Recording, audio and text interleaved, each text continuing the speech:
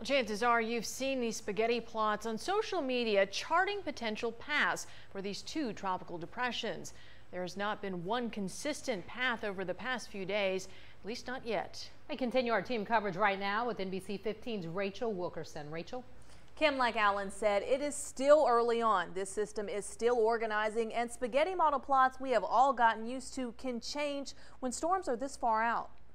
When a potential storm is headed our way, there is always concern. Right now, NBC 15's team of meteorologists and the National Weather Service are eyeballing these two Atlantic tropical depressions. Within the past three days, the suggested paths have changed significantly.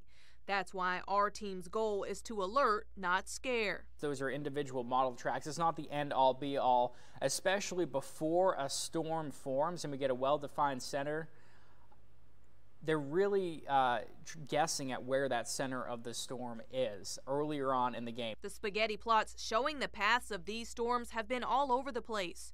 You can see Tuesday's forecast in the far left corner doesn't appear to be much of a threat towards our area.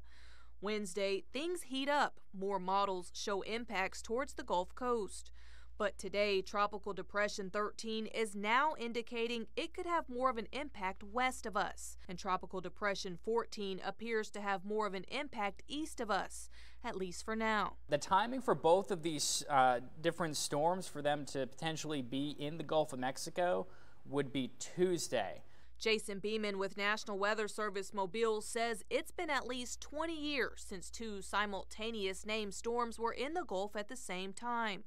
He says even with the fluctuating paths, now is the time to review your plan. That's going to reduce your stress level. 2020 has been stressful enough for all of us. So let's make sure we all have a plan in place should a storm come our way.